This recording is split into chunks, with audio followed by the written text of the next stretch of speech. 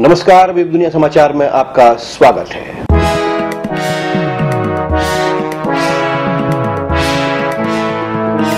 नोटबंदी पर बोले नरेंद्र मोदी, अमीरों की हुई नींद हराम।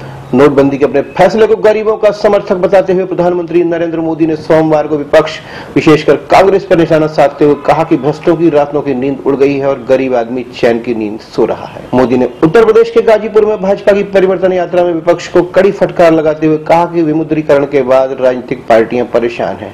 उन्हें नोटों की मालाएँ पहनने की आदत थी, अब उनके पास केवल एक ही विकल्प बचा है कि 500 और एक हज़ार के नोटों को रद्दी की टोकरी में डाल दें। मोदी ने किसी का नाम लिए बिना कहा कि कुछ लोगों के चेहरे पर मुस्कान मुस्कान है। वे यहाँ तक कहते हैं कि मोदी जी, आपने एक अच्छा काम किया है, लेकिन दूसरी ओर वही लोग अपनी पार्टी कार्यकर्ताओं को मेरे फैसले का विरोध करने को उकसाते हैं। उनका परोक्ष इशारा बसपा सपा और आपकी तरफ़ था, जिन्होंने इस कदम की आलोचना की है। मोदी ने कहा कि वे गरीबों की खातिर लड़ने के लिए तैयार है। मुझे पता है कि मुझे बहुत परेशानियों का सामना करना पड़ेगा, क्योंकि जिन लोगों के पास भारी पैसा है, वे बड़े ताकतवर लोग हैं, लेकिन मैंने यह लड़ाई गरीबों के लिए छेड़ी है। मोदी बोले कि ईमानदारी के नाम पर देश की जनता को गुमराह करने वाले नेताओं से वे कहना चाहते हैं कि 500 और 1000 के नोट यानी काला धन जाना चाहिए और बेईमानी जानी चाहिए, इसलिए इसे हटाओ।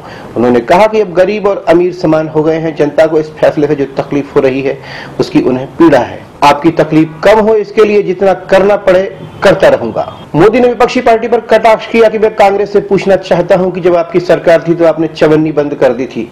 तब कौन सा कानून था? मुझे बताओ। किससे पूछा था? आप चौनी से आगे चल नहीं पा रहे, आपने अपनी बराबरी का काम किया और हमने अपनी बराबरी का काम किया। उन्होंने कहा कि सीमा पार से हमारे दुश्मन नकली नोट छापकर हमारे देश में भेज रहे हैं। दुश्मनों की चाल को खत्म करने के लिए ही नोटबंदी का फैसला किया है। इस फैसले का विरोध करने वाले नेताओं से मैं सवाल पूछना चाहता हूँ कि आतंकवाद और नक्सलवाद के खिलाफ लड़ाई के लिए जाली नोट का खात्मा होना चाहिए या नहीं। पाँच सौ और एक हज़ार के नोट पर अगर हमला न बोलता तो क्या ये जाली नोट खत्म होते? हालाँकि नोटबंदी के सरकार के फैसले की सराहना हो रही है, लेकिन एक तबका उसकी तीखी आलोचना भी कर रहा है। कहीं गंगा में नोट बहाये जाने की खबरें हैं। इस सब के बीच नोटबंदी के साइड इफ़ेक्ट भी दिखाई दे रहे हैं। मध्य प्रदेश की राजधानी भोपाल सहित अन्य सभी स्थानों पर सोमवार को लगातार छठवें दिन भी लोगों को नकद राशि को लेकर मुश्किलों का सामना करना पड़ रहा है। बैंकिंग सेक्टर से जुड़े एक वरिष्ठ अधिकारी ने दावा किया कि प्रदेश में लगभग पचास फ़ीसदी एटीएम अभी भी काम नहीं कर रहे हैं। एक अनुमान के मुताबिक पूरे प्रदेश में लगभग 50 से ज़्यादा बैंकें काम कर रही हैं, जिनमें सत्ताईस सार्वजनिक क्षेत्र की, बाईस निजी क्षेत्र की और कई अन्य प्रकार की बैंकें हैं। पूरे प्रदेश में लगभग दस के आसपास एटीएम है, जिनमें सबसे ज़्यादा लगभग पाँच स्टेट बैंक ऑफ़ इंडिया के हैं। राजधानी भोपाल में एटीएम की संख्या लगभग ग्यारह सौ है। पाँच सौ से एक हज़ार रूपए के नोटों पर प्रतिबंध के बाद अर्थव्यवस्था में अचानक नकदी की कमी पैदा हो जाने के कारण राष्ट्रीय राजधानी दिल्ली में रेहड़ी पटरी वाले दुकानदारों की संख्या घटकर एक चौथाई से भी कम रह गई है। साथ ही बाजारों में भी भीड़ काफ़ी कम हो गई है। दिल्ली का दिल कहे जाने वाले कनाट प्लेस में रेहड़ी पटरी वाले दुकानदारों की संख्या रविवार को बेहद कम रही। टॉप की अस्थायी दुकान लगाने वाले रिंकू ने कहा कि सुबह से दो पीस ही बिके हैं, लेकिन इसका मतलब यह नहीं कि वे सरकार के इस फैसले से नाराज़ हैं। रिंकू ने कहा कि अभी तात्कालिक दिक्कत है जो बाद में ठीक हो जाएगी।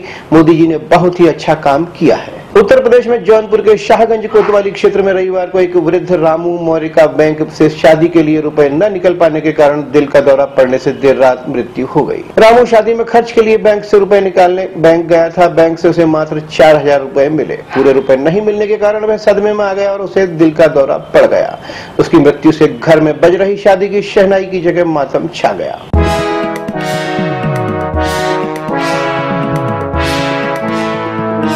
आइए नज़र डालते हैं आज की कुछ और प्रमुख हेडलाइंस पर। बिम्बर सेक्टर में भारतीय सेना की गोलीबारी में सात पाकिस्तानी जवान मारे गए। अंतर्राष्ट्रीय व्यापार मेले के उद्घाटन के बाद बोले प्रणब मुखर्जी, बन रहा है नया भारत। अयोध्या विवाद के समाधान के लिए नया प्रस्ताव विवादित स्थल पर बने मंदिर और मस्जिद। दस हज़ार हिंदू मुस्लिमों के हस्ताक्षर वाली याचिका फैजाबाद मंडलायुक्त को सौंपी। शी जिनपिंग ने कहा, अमेरिका तथा चीन के बीच सहयोग ही एकमात्र रास्ता। ऑस्ट्रेलिया के प्री स्कूलर्स को सिखाई जाने वाली भाषाओं में हिंदी होगी शामिल।